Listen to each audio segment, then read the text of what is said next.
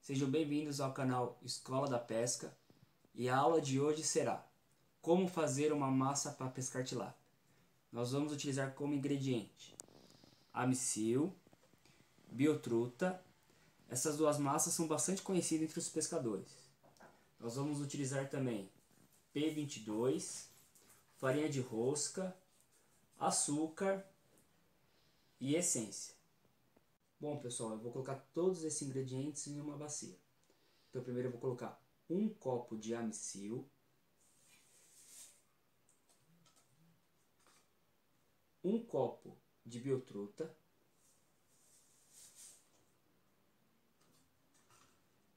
dois copos de P22. Caso vocês não tenham P22, pode utilizar também o P28. Também é bastante eficaz com o P28 dois copos de P22, um copo e meio de farinha de rosca,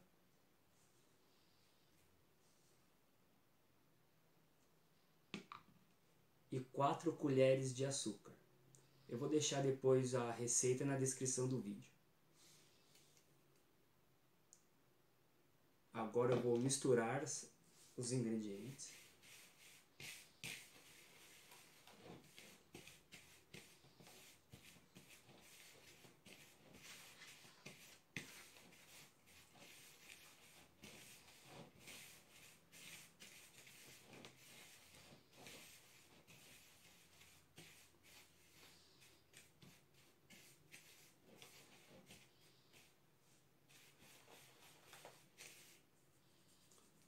Pronto.